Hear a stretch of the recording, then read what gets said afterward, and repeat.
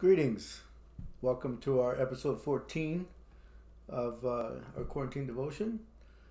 And uh, we are working our way through the uh, Gospel of John. And today we're on chapter 4, which describes a conversation that Jesus had with a woman at the well. There's a plant in, in South America which finds a moist place and rests there for a while sending its roots down and turning green. And when this bit of earth dries up, the plant draws itself together and is blown along by the wind until it finds another moist spot, where it repeats the same process.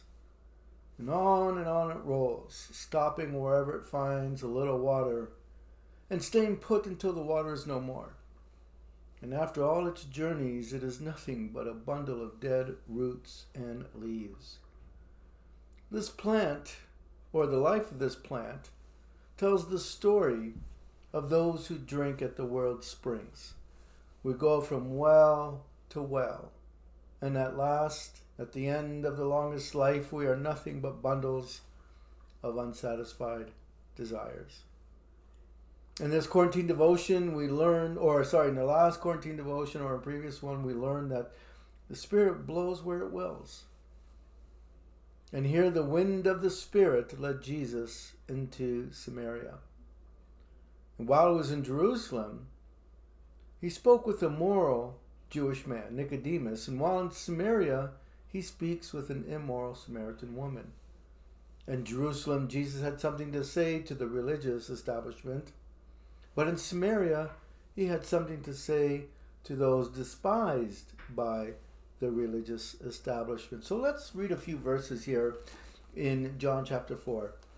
We're going to do 7, verses 7 to 9. It says, And there came a woman of Samaria to draw water. Jesus said to her, Give me a drink. For his disciples had gone away into the city to buy food. And therefore the Samaritan woman said to him, How is it that you, being a Jew, ask me to drink, since I am a Samaritan woman? For Jews had no dealings with Samaritans. Well, who is this Samaritan woman? John does not give us her name, and this may be because she stands for a typical person concerned with satisfying physical needs. Now, there were closer wells she could have gone to. Jacob's well was not the closest water source from a hometown. And she went at the hottest time of the day. In fact, if we go to verse 6, it says that uh, that um, Jesus wearied, being wearied from his journey, was sitting thus by the well. It was about the sixth hour, and the sixth hour is noon. So she went at the hottest time of the day. Why didn't she go when it was cooler, like early morning or late afternoon. The third thing that we notice about the Samaritan woman is that she was alone. When drawing water from wells, women usually went in groups. But maybe due to her checkered past, her poor reputation, her sense of shame, she wanted to avoid human contact. Now, this woman's knowledge of Jesus grew in steps until at last she grasped that Jesus was the Messiah. The first step was that she recognized Jesus as a Jew. And then she learned that he was greater than Jacob. And after that, she saw that he was a prophet, and finally, she acknowledged him to be the Messiah. Well, the next two, the last two ones, that recognizing him as a prophet and as the Messiah, we'll cover in our next quarantine devotion. We're going to look at how she discovered that he was a Jew and then greater than Jacob. Well, let's look at the first one. Jesus was a Jew. How did she know that? Well, she knew that because Jesus had these thing, these tassels in Hebrew called tzitzit hanging from his garment, and they served to identify him as a Jew. For example, if we go to, to Numbers chapter 15, and here we, we read about the commandment to wear these tzitzit, to wear these tassels, in, in, in Numbers 15, verses 38 to 39, it says, Speak to the sons of Israel and tell them that they shall make for themselves tassels on the corners of their garments throughout their generations, and they shall put on the tassel of each corner of a cord of blue. And it shall be a tassel for you to look at and remember all the commandments of the Lord, so as to do them and not follow after your own heart and your own eyes, after which you played the harlot. And so these tassels were a reminder of the commandments. And her hidden response to Jesus may have been one of resentment because of the historic dislike between Samaritans and Jews. Well, why the dislike? Well, let's do a little bit of a history lesson here.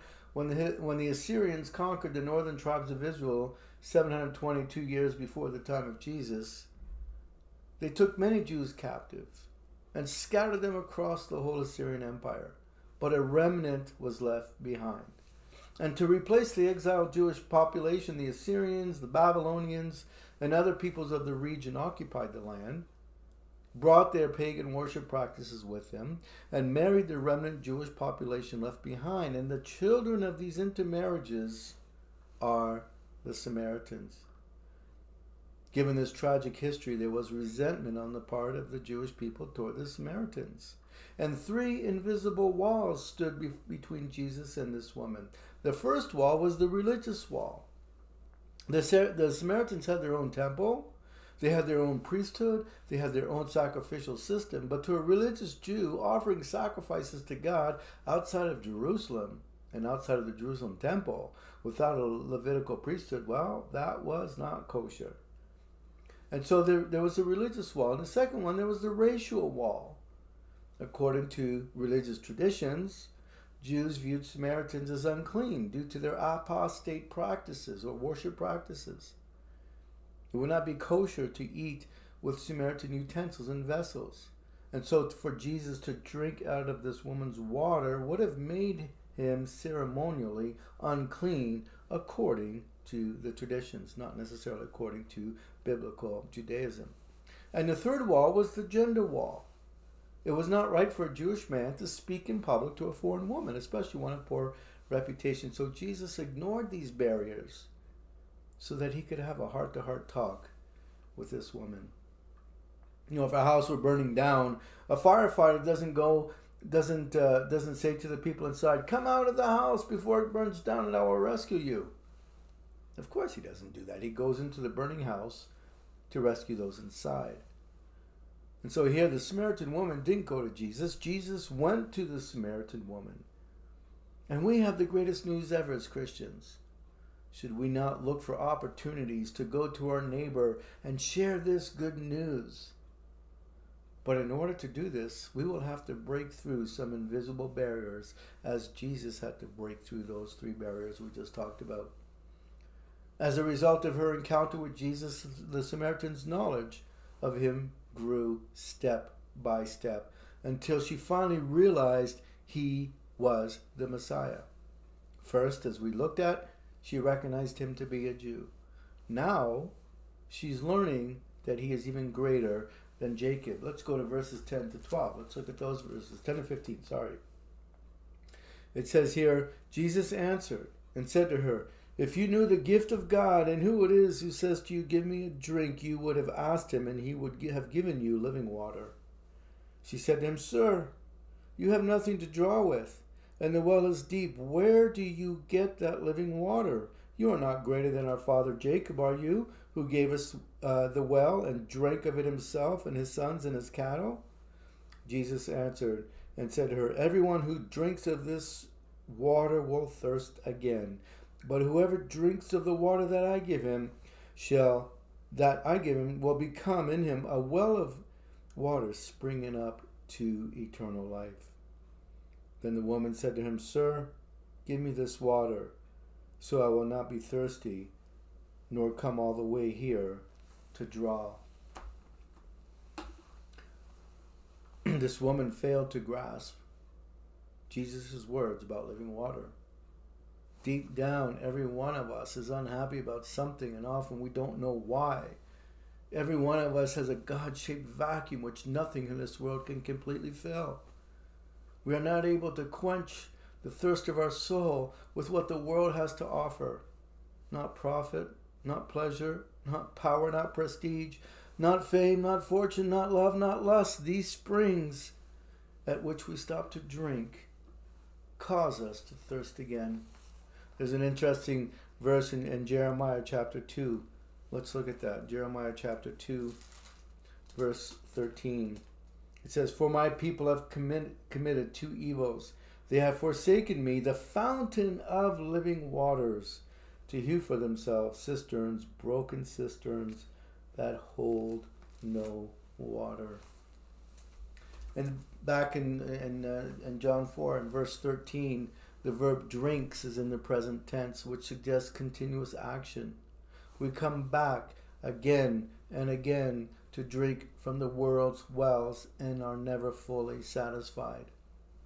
Now, the Samaritan woman was thinking about a deep hole in the ground, but Jesus was talking about a bubbling spring in the heart. In verse 14, the verb springing up is in the present tense. And this verb suggests that the water Jesus gives is living, it is bubbling up in endless supply. The blessing of this endless fountain of living water is the Spirit of God, which the Lord gives in response to our repentance from sin and our faith in Christ Jesus. Isaiah 12, verse 3 tells us this. It says in, in, in verse 3 of Isaiah 12, Therefore you will joyously draw water from the springs of salvation. Perhaps Jesus was referring to this passage in Isaiah in his dialogue with the Samaritan woman. The endless supply of his spirit results in new life. It results in a new power. It results in a new direction. The living water leads to eternal life, which does not begin when we die, but when we believe. In John chapter 17, verse 3, Jesus gave a definition for eternal life. And he said, Eternal life is to know God and Christ Jesus, whom he has sent in verse 14 of John 4, there's a verb that's the the phrase whoever drinks, that word, that verb drinks is in the past tense. This is different than the other drink. This is whoever drinks of the living water. It's a one time action. Once we drink from the living water, we enter a reality from which we will never want to leave.